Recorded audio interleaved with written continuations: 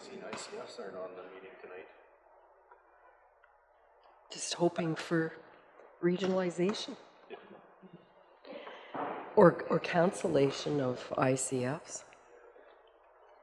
All right, we will get started as we are a bit late on our start time. And we'll get a look at 11.7, Proposed Fire and Emergency Services Agreement with the City of Brooks. Lane. So this is related to the item that we just previously dealt with, with the appointment of a Director of Emergency Management. With, again, Keith's retirement, there has been discussions underway with the City of Brooks uh, Fire Department about the possibility of having them oversee the service. And what we have before council for consideration today is a draft agreement that would provide for that arrangement to be formalized. It would be somewhat similar to what we already have in place with corporate safety, where we employ the staff members and the staff members involved provide service for both organizations. In this case, what we're proposing is that it would be a City of Brooks uh, staff position that would be dedicated exclusively to looking after and overseeing the rural fire services. It really wouldn't change anything from the way the arrangement has worked in the past with an individual providing support and assistance to the rural departments. It's just whose payroll the individual would be on, and it would provide for closer integration and um, coordination with the City of Brooks Fire Department as well. So a number of benefits that we see with, with that arrangement if council is prepared to approve it. Thanks, excuse me, thanks, Lane. Questions, council?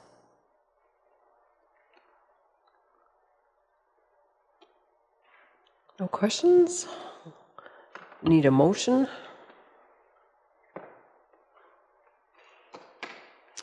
Hubie is making motion for approve the agreement as submitted. Take it, option number one. No questions, all in favor of the motion? Opposed? The motion is carried to proceed. Recreation agreement with Division Bassano and Division 6. 11.8, also Lane. So this is a, a follow-up to the recently approved intermunicipal collaboration framework agreement with the town of Bassano. Uh, within that agreement, it references the fact that recreation would be provided on a joint basis with the county, and the agreement that you have before you for consideration would formalize that arrangement. Uh, the agreement is similar in nature to that which is already in place with Duchess and Rosemary, with the exception of board representation. In this case, the board members would be limited to members of council from the town of Bassano and the county of Newell. So if there's any questions, we can try and address those. Otherwise, the recommendation is that the agreement be approved. Clarence. So why don't we have at least a best guess what it's totally costing? The potential is for costs to increase above what they have been. The arrangement that is in place right now, there is a Division Six Recreation Board. All rural residents and Councillor Chrisman is on that board. And the amount that is raised has been pegged at basically $100,000 for the past several years, with 50,000 of that going directly to the town of Bassano, and 50,000 is available for the board to distribute to organizations within the area. What's proposed with the new arrangement is that both the town and the county would each contribute $25,000 towards a fund that organizations would be able to apply for. So there would be that same pool of funds of $50,000. But the other item within this agreement is that there would be a 50-50 cost share on all recreation costs incurred for facilities within the town of Bassano. And without having a lot of, or the benefit of historical information on what those costs have been, we can't say with any firm degree uh, of certainty what, what the amount would be that would be contributed under that arrangement, unless Kevin has got some more detailed information from the town, but I'm not sure that that's available. Yeah, well, I think for this year, it's, uh, it's about hundred and seventy-five thousand, our share. Is that what you're after?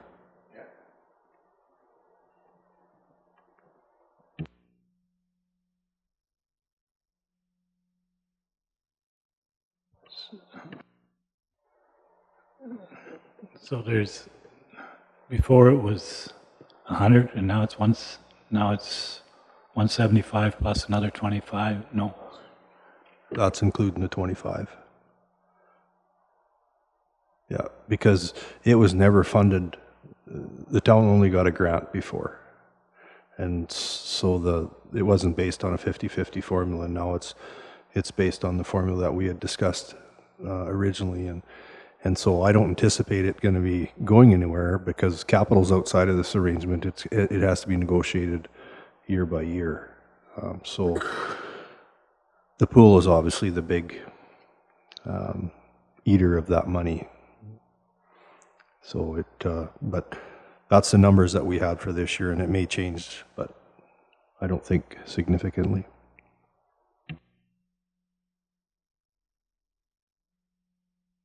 Other questions? Tracy?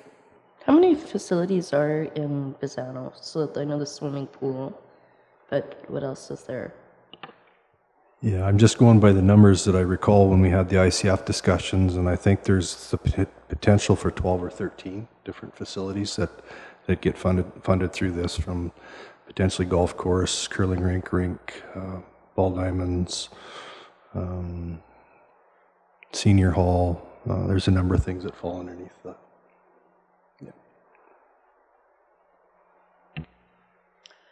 Other questions? Lionel? Is the golf course uh, run by this, by the community, or is it a separate? Well, the- I, I think the golf course is run separately, but it's still a recreation function that the town from time to time puts into. So w- any recreation dollars that they expend, we pick up 50% of it. That's how it works. I think it's a similar setup to their arena where they have a, they have a board that looks after the golf, which is also the bowling alley.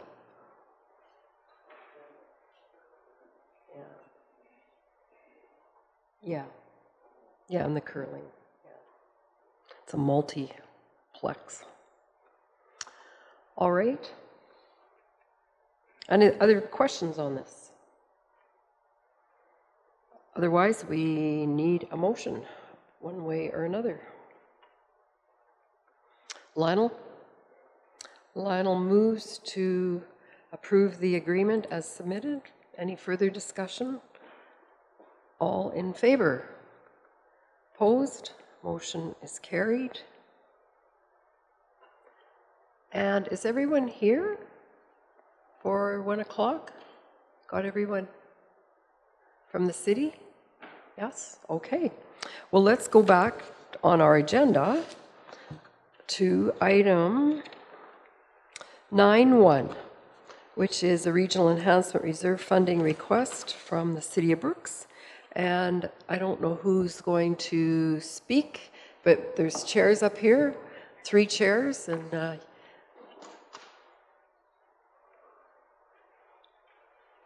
can add a fourth one if, Russ, did you want to sit up?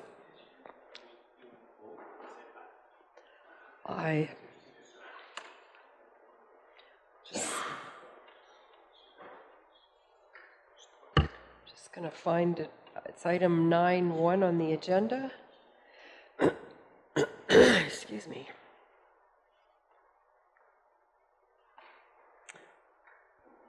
So there's two applications in our, our uh, package. The first one, I think, is for the Hort Main pipeline. Okay? That's correct. And we'll do some introductions as well, because I don't, um, know if everyone around our table knows all of our guests and vice versa. So I'm Molly Douglas, and I represent the northern part of the, the county, the Gem, Finnegan, Duck Lake, Booney area of the county, one of the Booney areas. And uh, I get to chair the council meetings because I'm Reeve. Lionel. Uh, Lionel Jess from Division 10, which is north and east of Brooks. Anne Marie Phillipson, Patricia area. Good afternoon, Hubie Kellen, Tilley area. Brian DeJong, and I represent the area around Duchess. Good afternoon, Clarence Amulin, Rolling Hills. Kevin Stevenson, County Administrator. Hi there, Tracy Fife, Division 5, which is south and west around Brooks. Uh, Wayne Hammergren, Division 4, which is Scandia, Rainier, and Bow City. Ellen Unra, and I represent the countryside around the village of Rosemary. Ariana Nielsen, Executive Assistant. Lane Johnson, the Director of Corporate Services. Sandra Stanway, Brooks Bulletin.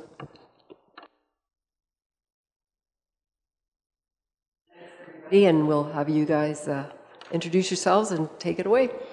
I'm Alicia Bartlett. I am the new manager of planning and engineering for the city of Brooks. I'm Don Sari. I'm the manager of works and utilities for the city of Brooks. Hi, I'm back. Hi, It's Russ. Russ Tanner, the manager of recreation facility services. Uh, I'll let these guys go first. So. So, Alicia, when did you start with the city? On Thursday last week. oh, wow, they've thrown you into the fire right away. Eh? They sure are. well, welcome to the county of Newell and, uh, and the city of Brooks, too, obviously. Thank you. Um, so we are here today to present um, our application for the regional enhancement funding for the um, the Hort uh, main ex- uh, pipeline expansion. Um, in 2008 and 2018, the city of Brooks had their wastewater infrastructure master plan updated. And in that study, they found that um, during wet weather events, there are surcharging problems with the system. Um, the surcharging is causing environmental impacts, um, requiring the city to lease land around the pipeline uh, due to the environmental concerns. So uh, we would like to move forward with the um, the pipeline, and the total cost of the pipeline project is 3.4 million dollars, and we are looking for 850,000 coming from the county grant. All right. Questions? Brian? So I recall the when this um, uh, I lose me?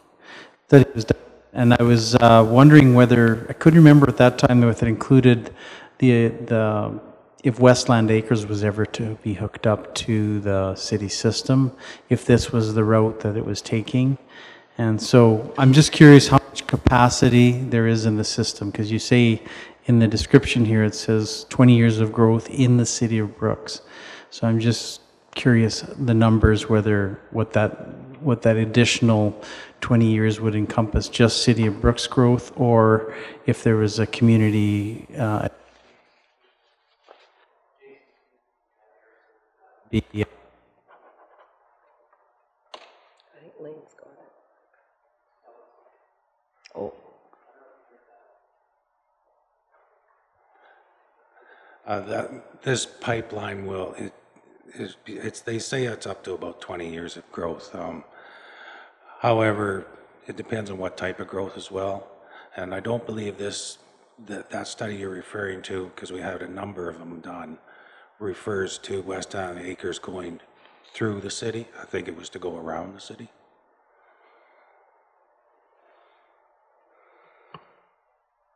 other questions?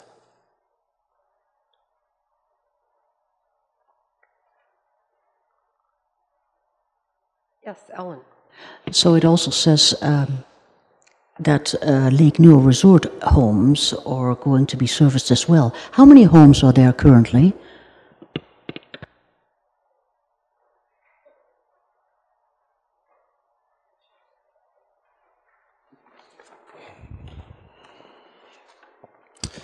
Um, right now, we have 150 homes down at Lake Newell Resort. We have 248 residential lots plus the marina house that are tied onto the sewer system coming from the resort. The data that I have uh, from this is that uh, we're generating roughly 40,500 cubic meters per year of sewage being pumped to the city of Brooks uh, into their pipeline. And um, that's, that's the historical trend over the last four years that we've shared with the city. Just not that relevant to, to the request for funding and stuff, but council does have an agreement from 2003 with the city of Brooks when Lake Newell Resort first got tied in uh, with wastewater services. And uh, in that agreement through the developer, there was a plan for a total development of 700 units, one unit representing one residence. Where there was a marina or a commercial development or something, they had calculations in their um, area structure plan to say what capacity those would take out, uh, being not normal. And um, with that original agreement, there was some, some forecasts and stuff in there with 10-year horizons and stuff. I am aware that county council did issue a check back in 2004 for $185,000 based on the 10-year forecast for improvements that were uh, suggested for the sewage collection, treatment, and disposal between the town and Lake Newell Resort. Um, I'm not sure where that went or, or what improvements have been done, and then how as the question already asked, if this is going to sustain the capacity of Lake Newell Resort and other areas around the city or not in your consideration of this. So what year did you say this thing, the Uh, $185,000 was paid? That agreement was in 2003 and the check was cut February 25th of 2004. In advance of any improvements, that was right out off the hop, so. I know it's, there's a mention in the information about 2008, and, isn't there? Can I read that somewhere? Hmm. I don't know. Who signed it? you know as well as I do. Any questions? Wayne, I've lost what I was looking for. Uh, So you've got no record at all how, of how that 185,000 was spent? I wasn't in my capacity at that time. I No, don't but have it's- any there's records. no records that I don't you- have any records or reporting um, as to where that funding is at. Maybe it's still being uh, held in reserve for, for improvements as slated. I don't know.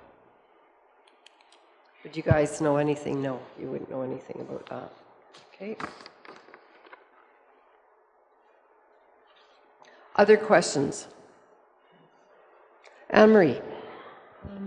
This um, $850,000, how is that going to be handed over as the project is progressing? Or is it upfront all at once? Is it in installments based on invoices?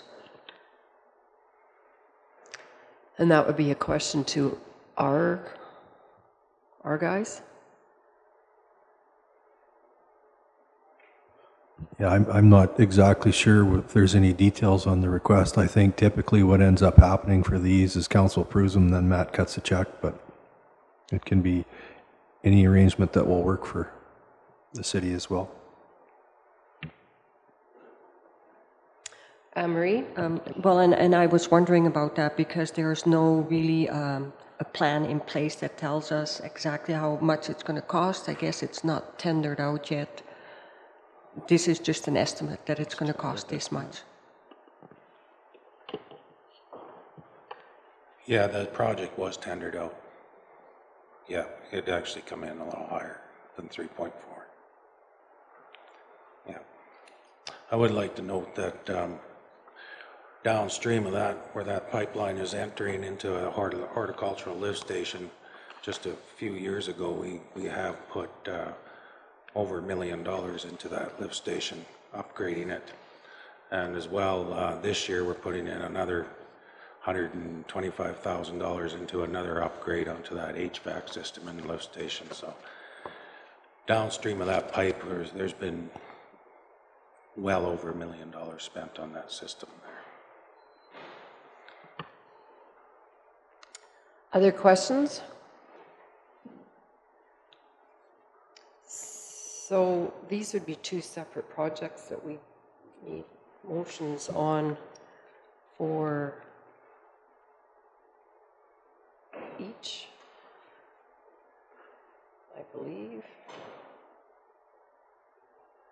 So it'd be a one, one at a time motion for each of these then, Lane? So any other questions that people need to know the answers to? Clarence, you look like you're thinking. Uh, You know, I think we have to remember how we, that these, these funds were, were allocated with probably just sort of a verbal restriction that they should benefit both city and county. And I don't know if I can remember anything else that we actually said at the time. Um, But that was kind of it. Um, The city has always been pretty cooperative with, with these types of things. They've come with good projects that we, that have benefit both, both municipalities, and I think this one certainly does, so. I'm going to okay this one and make a motion. Thanks, Clarence. Questions? Anybody else? All in favor of the motion? Opposed? Motion is carried. So that's the Hort main pipeline expansion, and so the daycare is the other one on the list. Thank you, Alicia and Dawn. And Russ. Yeah, they're just. Hope you weren't traveling together. no, no, no, we're not. Uh, I'm surprised I'm here talking about daycare. No, I'm just. But anyhow, so so the reason I'm sitting in front of you is because the operator of the daycare that operates out of the JBS Canada Centre uh, had uh, approached us some time ago, uh, in large part because she has quite a large waiting list. Uh, in our 10-year uh, regional uh, extensive master plan and and in other areas over the years, we've certainly identified as daycare being a needed asset to the community and something that we've been somewhat short on. Thought we helped that out when we and we did help it out when we uh, when we opened up the daycare with as part of the uh, JBS Canada Centre. They operate with 36 uh, kids currently at capacity and an expansion of uh, roughly 1,000 square feet, 7.5 meters north of the daycare, would improve that capacity to 60 people, uh, which she is saying she could fill right away. And so uh, that the city was approached. We've gone out and gotten uh, quotes uh, as to what the cost would be for that, and that's where this budget comes from. It hasn't been tendered at this point in time. So how, how long has that daycare been open? Uh, we opened uh, the daycare opened March of 2017. Yeah. And so it was uh, full immediately and basically is over full. Yeah, yeah. See, initially we even had left open, I think it was six spots for a drop-in type um, Yes. capacity. Uh, we found that there wasn't, uh, it wasn't being used hardly at all, almost at all. And because of the waiting list, we actually opened up those spots in our agreement for them to have full-time to the 36. And um, yeah, and so basically it's been at capacity with waiting lists since we opened. And uh, my understanding is from uh, that, that this is a need within the community as a whole. It's not just something just recent. Uh, uh, daycares are not having an issue with reaching their capacity. Hmm. So, yeah. Questions? Clarence? So Russ, this, there's a fee to this. So how close are you to breaking even? Uh, so it would take us approximately uh, 10 to 13 years to recover it within the lease agreement itself, uh, the city, to recover that uh, full amount of the $202,000 buff, or, uh, budget. That's got a 15% contingency in it as well. So I want to point that out. It may actually be savings of a little uh, less than that if everything comes in good.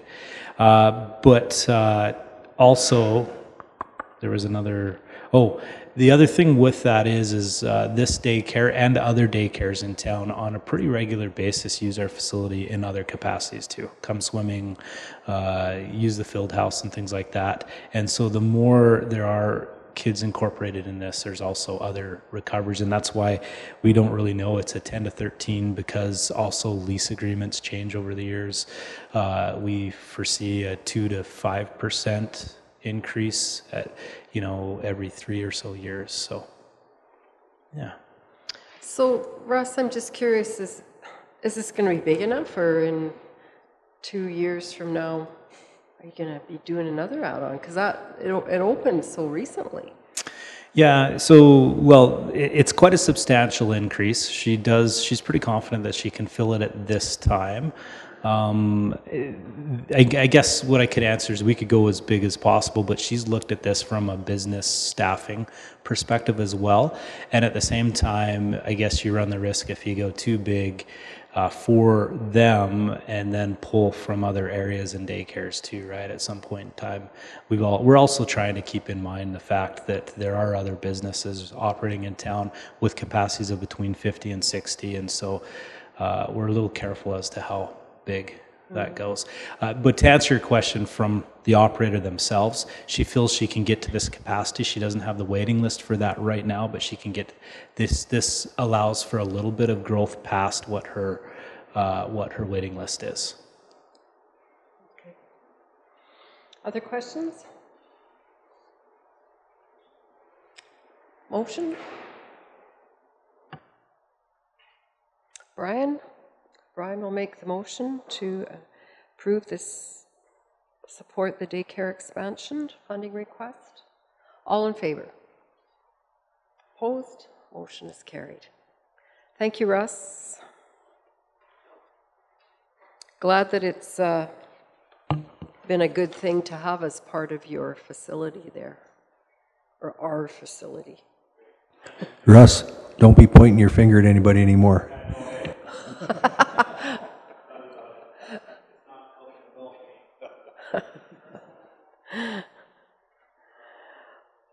Okay, I think we are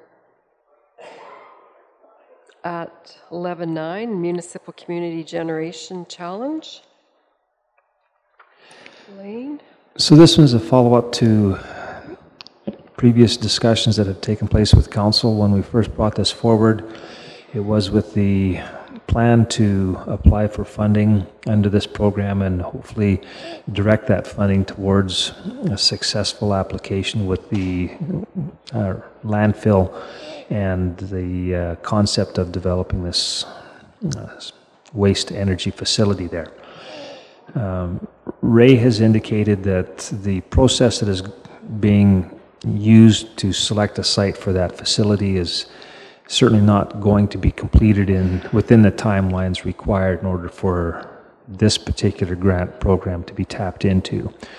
When we brought forward the original proposal, it was with the caveat that if the Sewa project didn't come together, we would be looking at trying to redirect it in another um, in another area. And the discussions that we've had in an effort to follow through in that regard have included the City of Brooks and Medicine Hat College Brooks campus. The proposal is to partner with those other two public agencies and develop a site that would be out on the Brooks campus and uh, would actually complement some of the programming that the Medicine Hat College is already providing as well. Um, Really, the, the objective, we've tried to identify the main objectives in- the report there, but what we're hoping to do in proceeding with this project, if council agrees to move ahead and the application is actually approved, is to use that facility as an, a learning center, but it would also accomplish a couple of other things. It would generate renewable electricity. Um, there would be revenue that would come back from the sale of that electricity. But more importantly, we're hoping that the facility would provide an opportunity to make information readily available to other businesses, to farm producers, homeowners on some of the benefits that they could expect to realize if they were to move ahead with the application of some of these technologies within their operation as well. Uh, one of the bigger overarching purposes that we're hoping this project would accomplish is it would serve as a um, help promote the, the Brooks Newell region as a hub for renewable energy. We feel that the location there, adjacent to the Trans Canada Highway on the Medicine Hat College campus, is high profile. There's certainly lots of awareness with the elemental energy site directly across the highway. And that corridor, I think, would would be quite conducive to helping to establish that image for the for the Brooks area. So we're wanting council to be aware that this is the direction that discussions are going with those other organizations. The next round that we need to meet is a submission for August 9th. If we're successful after that, then there would be additional work that would be required. But the request is at this point is that we be approved to proceed with that next round in the application process and submit a, a formal um, expression of interest to proceed for August 9th. Questions? Lane, um, how do you select these SME partners? I just, not, that, that's not yet, right?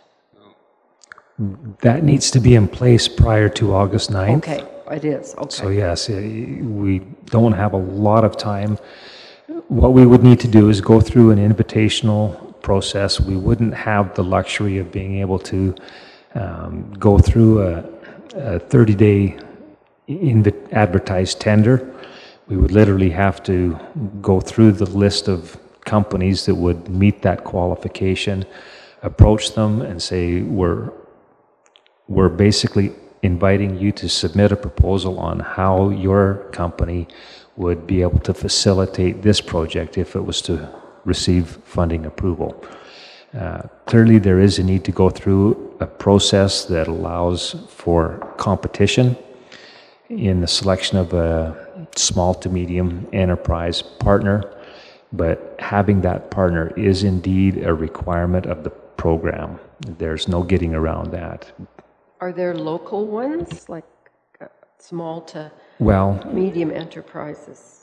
Funny term. Elemental would be a company that would certainly qualify. Canadian Solar would be one that we would be reaching out to. There is a company out of Medicine Hat that has done work with Medicine Hat College before. Um, CWL, which we've had some conversations with in the past and with council about as well, would be one that we would anticipate reaching out to. There's, there's probably at least a half a dozen that we would like to approach and have them submit proposals. And those proposals would be reviewed, and a SME partner would have to be selected from those. All right. Other questions? Brian? How long, how far along is the college in developing their, um, their, because they, aren't they developing, developing a program um, to, uh, within the college uh, realm of their faculty to, to e- educate or, or provide education for a solar program, or am I out to lunch? No, you're not. They, they are moving ahead with that. Uh, how far along they are, I'm, I'm not sure right now, but it is something that they are definitely wanting to include as some of the courses that they offer so that full certification can be provided through the Medicine Hat College. Whether it's going to be in Brooks or in Medicine Hat, I don't know.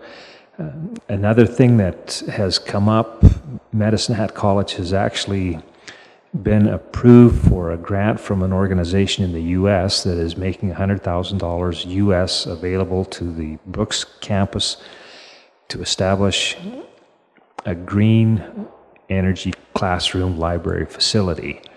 So they're hoping to tie that into it as well. Uh, the college, as an organization, is definitely taking a number of steps to enhance their ability as an organization to offer programs um, in the renewable energy sector. This certainly is consistent with the direction that they're wanting to take, but they are moving in the direction of offering a full certification program in their um, in their curriculum. Clarence. There's one thing missing in all this, and those are, those are the numbers. Have you any idea what kind of dollars we, we sh- should be thinking about if we're going to go here? Very valid question. There is the total funds that are available is $10 million, 3 million from Alberta Innovates, 7 million through MCCAC. They have indicated that that pool of funds is going to be allocated probably across a half a dozen projects, and it's possible that two projects might receive a significant amount of the funding. Um, so even if all of the money was to be allocated to one project, $10 million, there's an equity contribution that's required. 25% has to be kicked in by, by the agency that's receiving the funding. So if 10 million was approved, two and a half million would have to come from the partnership. Uh, we can't in our wildest dreams expect that the county is going to be receiving that amount. It would be nice if it was a significant enough amount that we could go ahead with a, a reasonable project. Uh, even if it was $5 million, you're still looking at a million dollar equity contribution that has to be provided from the partnership. Land that is already held by one of the organizations can be part of that equity. Uh, it is possible that the college grant that they have received could also be an equity contribution as well. We're still exploring the size of the project that needs to be, that should be applied for. The size is going to determine the amount that would, the amount that would have to be raised, and that's going to drive the cost that has to be funded from the partners. Hopefully, some of the funds required would also be coming from the SME partner as well. If, mind you, if they're required to contribute up front, then the expectation is going to be that if there's revenue coming off of this, that they would then be entitled to a portion of the revenue coming off of it as a return on their capital investment. Lots of details that we've got to work through yet. At this point, um, what we're needing is approval to go ahead and continue those discussions and see if we can line everything up in time for that August 9th submission. Do you know of other uh, municipalities that are doing stuff on this program, Lane? Yes, there are there are a number of others. Uh, the the town of Picture Butte was at a meeting that that I had attended. Uh, the town of Coaldale is looking at submitting a proposal. Uh, that was at a meeting yesterday, and there were other organizations that came to a meeting in Lethbridge that were from Calgary. Uh, there's a number of other municipalities that are definitely pursuing this as well. The MD of Taber has actually got a proposal. Um, they're working with a, a private sector organization there, and what that group is looking at doing is developing or proposing to develop renewable energy facilities that would be placed on orphan well sites. So these are sites that are not being utilized otherwise. It's not viable agricultural land. And what they're proposing to do, instead of requiring the Orphan Well Association to go in there and do a full remediation on it, uh, that site would just be turned over to the organization. They would locate renewable energy facilities on there with the funding provided. So they're another municipality that is looking at doing something, but the MD itself is at somewhat arm's length. It is another organization that's trying to access the funds through the MD. Hmm. So a fair amount of interest. And this program hasn't, hasn't been canceled or changed as of yet? that question has been raised a number of times. Is the money in the bank? And they keep saying, yes, the money has already cleared the government accounts. It is fully committed. Um, in order for it to be canceled, they would literally have to go in and scoop the funds out of the account that the, that the Sort of like- administrators have. Sort of like they just did to us. Almost. Yeah, it's interesting. Well, it's good, good. All right. Going to proceed with this, Brian?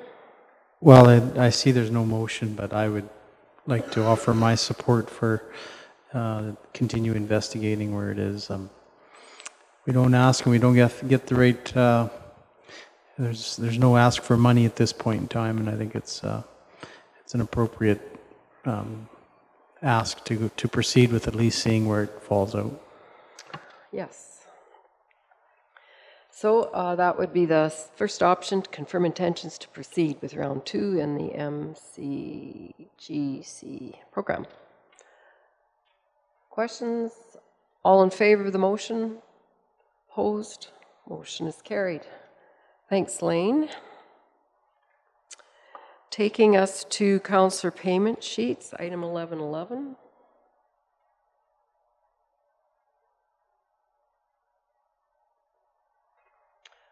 From May, questions, motion? Tracy? Move to approve? All in favor? Opposed? Motion is carried. Checks for payment. Item 1112.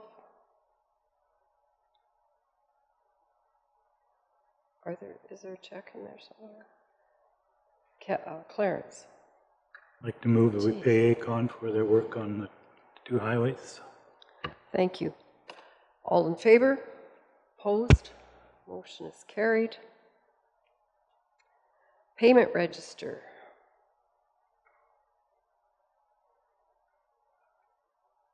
Any questions from the payment register?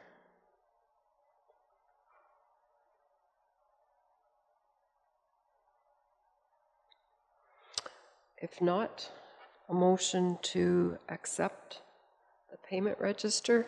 Anne Marie moves. All in favor? Opposed, motion is carried. And on to the municipal services. Oh, request for functions of council. Seeing none, I'll move to Mark's report, item 12.2. Okay, um, really, it was extremely dry in June until we got some recent rains, and it's been significant amounts in some areas, and apparently it's hasn't rained at all in some um, parts of the region. So it really differs from uh, where we are. Um, grader operators, they've done about 2.65 full rotations of, of road maintenance. And uh, they did uh, kick off working in the dust abatement program June 19th, which wrapped up um, just yesterday. Truck drivers, about 20% uh, completed with the resurfacing of gravel roads.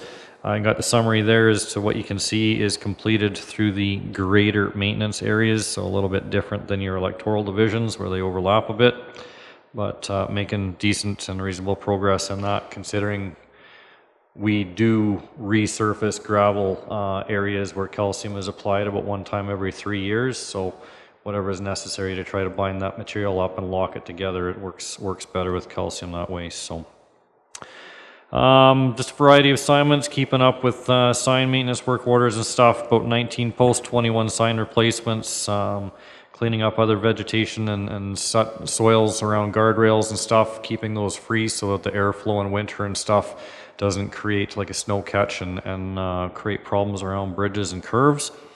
Uh, drainage improvements with culvert replacements are in progress in the Bassano area, along with some other uh, locations. Shoulder pull program that kicked that area off uh, here just the other day. Had their meeting on Monday and they're going to work. So I know that there's some local contractors uh, looking to get busy because there isn't a lot of work out there, especially with where the provincial government's at. So this is a warm welcome for them. Um, yeah, so calcium is done, so that's an update to that. And uh, we've been working on the new grader site for the Rainier, Bow City, Scandia territory. It's actually located over towards the water distribution center in the hamlet of, of Rainier, uh, removing it from private property and putting it in a fenced compound with uh, its fuel tank and stuff. So slowly picking away at those to get them all relocated onto county land and, and off of private property. Uh, five new activations on the rural water side of things. I know uh, Cole had a little bit differing numbers uh, in there from what he reported, but that's what I have coming from the utility system. Uh, Highway 876 project, small update, not no update as I wrote, because I talked to Jeff after this, he was tied up in other things. Fortis is getting work started uh, towards the north end of Highway 876, Patricia end. Uh, single phase power line up there, they're getting those poles relocated first, and then they're going to move south and work on the rest of it with an anticipated completion of mid September. The uh, road contractor, uh, once the uh, single phase is relocated, they're going to start at the north end uh, with the dirt work and stuff and, and start building that way south. So we'll see how uh, far they get and hopefully they can get all the dirt work done and that we're sitting in the spot that we want to for next year with gravel base and asphalt going down. So yeah, we're getting there. Uh, Jeff uh, also had been working with the EID and Alberta Transportation uh, with respect to a drainage complaint up at the uh, college, actually. Uh, we've got some drainage that comes from Range Road 14-2, paralleling Highway 1 west uh, up to the college before it enters the Marshall Drain, and things are backing up there. So we just got our application approved by Alberta Transportation for the EID to go in and, and clean out some of that drain for us and whatnot. So that's on the go and partnership with the EID for drainage. Rainier South is in progress. Uh, they're going to be uh, doing the North Rainier project as well. And we completed the scope of work for the Bow City area, which is uh, from the speed curve on Highway 539. That immediate area to the north and west of that speed curve is all going to get cleaned up and taken care of there. Um, so looking like, I want to be uh, optimistic in this, but looking like we might be touching ourselves into Rosemary in 2020. Hopefully. Uh, I will reiterate, as I've, I've said in the past, that's probably a five to seven year program in Rosemary alone for as much as we have to do. Very flat land. So uh, we are making progress on that. And uh, Jeff has been busy working with uh, his new responsibilities in planning and development, and I think council can see progress uh, as things come through this meeting and stuff, and hopefully see some other developments in that area. And uh, we're still waiting for Alberta Transportation's approval of Highway 875 south with the truck route parking in Rolling Hills. Uh, we haven't got anything back from that yet. Uh, when we do, we will move on that project as well. Uh, municipal enforcement conducting their, their business as they usually do. No issues or concerns from any partners, and uh, they're keeping up with writing the warnings and the tickets as things warrant based off of 35 investigations for the month. And uh, yeah, we're getting ready to start dipping into budgeting for the next four year cycle and looking at things and getting prepared for our pre budget meeting with council August 1st. So. Not sure we're going to be bringing much, but we're working on it. um, the other thing with the report, I guess, the uh, permit statistics, you can see the permit activity is definitely higher than 2018. We're up about 12% uh, over previous year. And out of those statistics, uh, the number one move for the last uh, last reporting period, 147 permits issued for service rigs. So that's 30 36% of that total permit number. Pump houses, light, lighthouses, mud tanks, dog houses, rig carriers, substructures, mud pumps uh, make up the majority of the rest of the top 10 off of those permits. So there is some activity. I mean, we see those fancy lights sticking up in the air now from the occasional drilling rig doing their, doing their business here, and I think most of that's related to Torxen and their business plans. So there's a company out in our part of the world, North 40, that's doing some drilling we discovered too, oh. which is nice. Yeah. It's pretty cool to see a drilling rig again. it used to just be everywhere. Questions for Mark? I wish. I wish. It's always on EID land, Kevin. Perfect. No questions? Good. All right, let's move the municipal report, please, somebody. Anne Marie? All in favor? Opposed, motion is carried. Mark, how, the eight uh, grader divs work well? Uh, seem to be the guys. The guys are happy with them. Um, following the rain events and stuff, we do bump them from eight hours a day up to ten hours a day to try to take advantage of that moisture being in that surface and get the roads graded up and, and let traffic pack it down and try to hold it together and not create a bunch of washboard with dry material. Um, But it's easily handling the job. Yep. Yeah, the guy, More the guys are getting streamlined. around. Um, Because did we have 12 at one time? we had ten. 10, oh, Yeah. But there was always extra. Well, ten since I've been here, so Okay. maybe maybe there were more, but we also had uh, a couple extra machines, and then we had other capable staff of going out as well. Ye- That's what I Um, recall, yeah. Yeah, so no, the the eight are, are keeping busy on trying to keep the eight hours a day to keep the work-life balance at, at bay and keep the overtime to a minimum. But uh, we like to take advantage of the rain events, in particular after this spring when we got moisture to try to get the roads graded and get the washboard cut out. So Thank you. that's Good to go? Good Yeah. to go. Thank you. No post-agenda items? Clarence, yeah. Just, where's, like, we, we did the maps of those, the districts.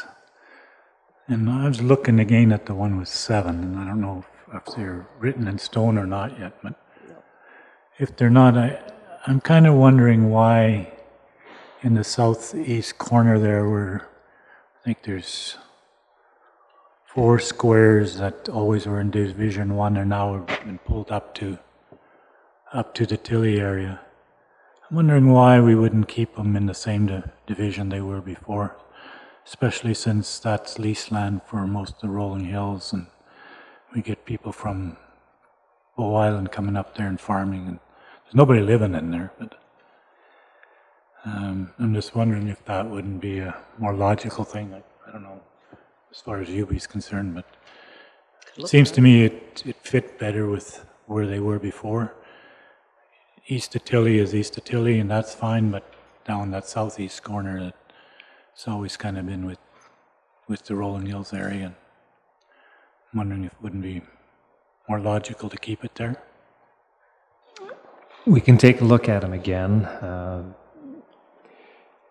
For the most part, the alignment was based on trying to even out the population, but if it's in an area where there isn't any population, it shouldn't make any difference one way or the other. It's no man's land out there. I mean, there's there's farming going on. There's lots of leased land. There's oil and gas, but no people.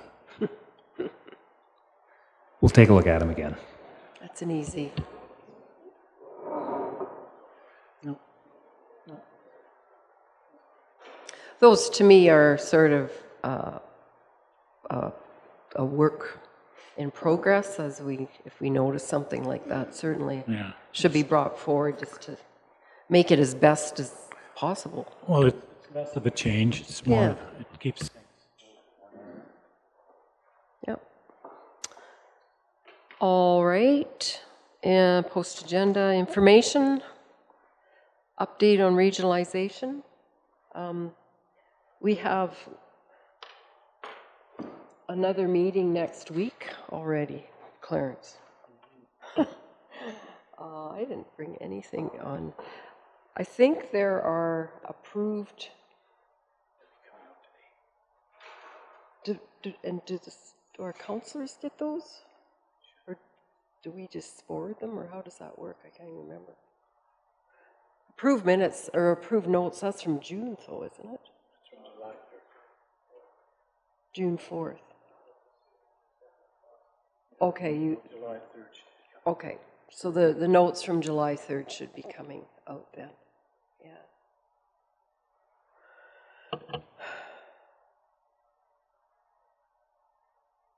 Anything else from?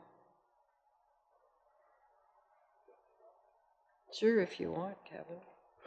So at the last meeting, we, uh, we talked about the, the governance model and um, the county put forward its recommendation of five, five, and one um, with the the um, Reaver Mayor to be selected from within the city's uh, preferences to have it externally uh, at large, and they're going to take that back to their council uh, and come back, whether this meeting or one of the future meetings anyway. The uh, ward system, there was very little discussion, support for that. I think um, they, they had more interest in what it looked like than I think uh, getting into the numbers of things. And the taxation model um, was discussed, and uh, it's going to come back uh, to another meeting. There was no firm decision on that. The only thing on the taxation model is the one that Sandy reported in the paper of 6.3 mills uh, was considered for about one second, and it was thrown out pretty much unanimous that uh, nobody was had an interest in that type of a policy. So, for the record, that's gone. I think it's safe to say, isn't it? It never was. Yeah. It never wasn't. Uh, communication assistance, uh, ISL Engineering has a, a, a portion of their company that does that. So they uh, they are the ones that was selected that met the RFP. Uh, Tracy and Alan went through those and selected. So we're looking forward. We met with the two ladies and uh, looking forward. Uh, they did a SWOT analysis quickly, so they're going to put sort of a plan together, which is good. I don't think it'll be ready for next meeting either. Um, we initiated a staffing committee. We're, we're talking about potential impacts to, to employees. So um, I've sent an email internally to look at about eight members internally that uh, can make some recommendations to the committee on questions and answers. So the committee can either agree with answers or, or not. I think that'll shorten up. If we provide 100 questions to the committee to answer, it's going to take forever to, to try to get through them because everybody has different opinions. So we're going to do ours internally here and then provide that. Um, so that'll start, that committee will start meeting after summer's done and then we'll, uh, we'll go through and, and uh, it'll engage the staff, um, you know, whether or not there's going to be enough for several months of meetings. I don't know. We'll have to see how it goes. We'll call for agendas. But I think um, aside from that, that's that's about it. On our earlier discussions with regards to the loss of revenue, I think um, the county is evident. The county is needing to find uh, savings more and more every year, and we need to find another two million, and it just keeps compounding. So we're not outside of this game either. And the other thing I wanted to talk about quickly is is a misconception that uh, the county being at the table and being able to be pulled away from the table.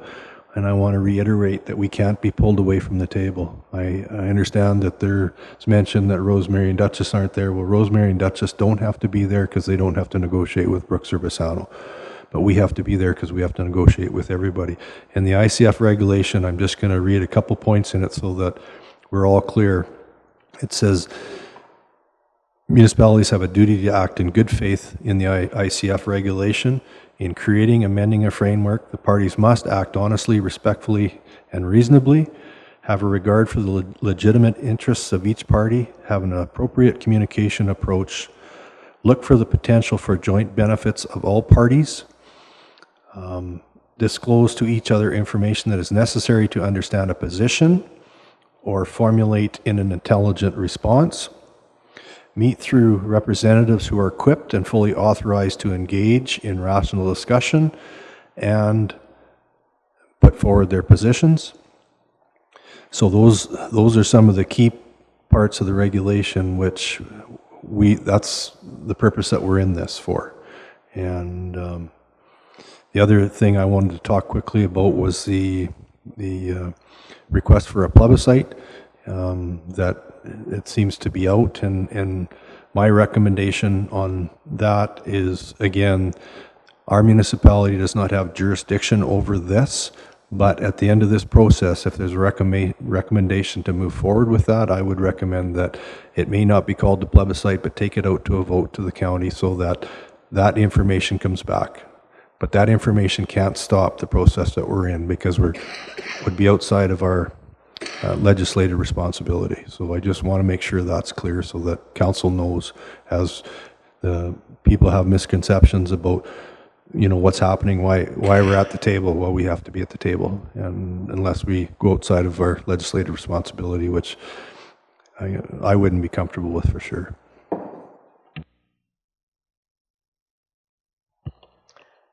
Amory?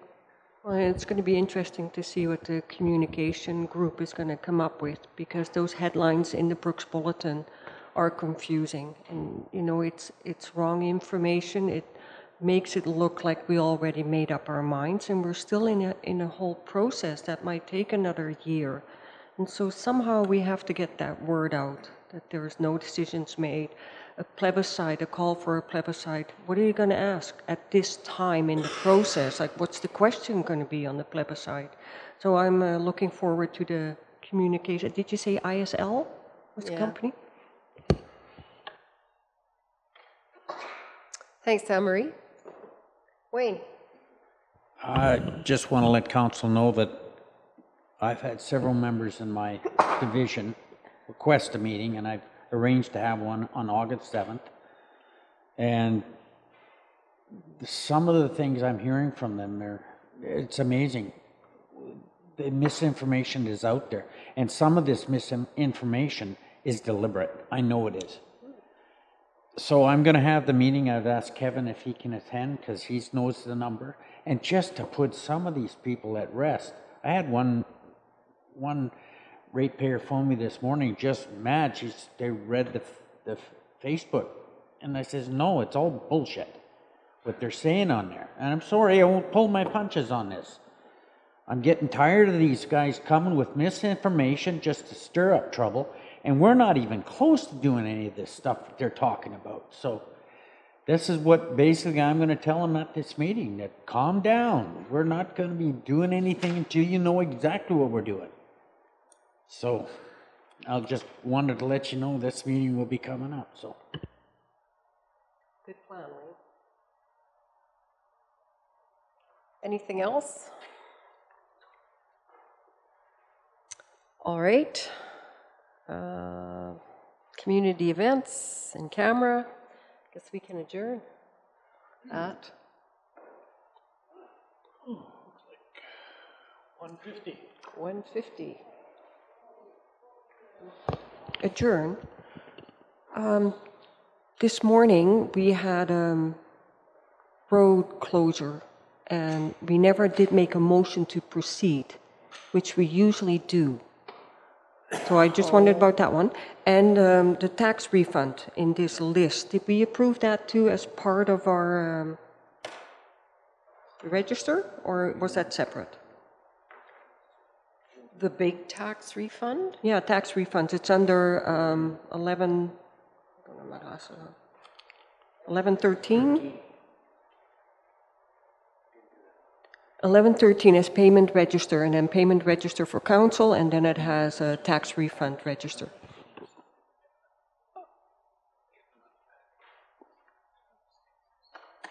So it's just the usual mistakes. Somehow my, Yeah, the, the tax refund register would just be the same as, yeah, as checks for, or payments. the, the usual Yeah. stuff. Yeah, it's just that they've uh, separated it out. yeah. And the, this morning as the motion, um, you're probably, yeah, right. As long as they go ahead and, It, it's coming back, so it's not a big deal, but Right. usually we make a motion to, to, uh, yeah, to proceed. Yeah, thank you, Amory. Anything else now that the meeting's over? Thank you.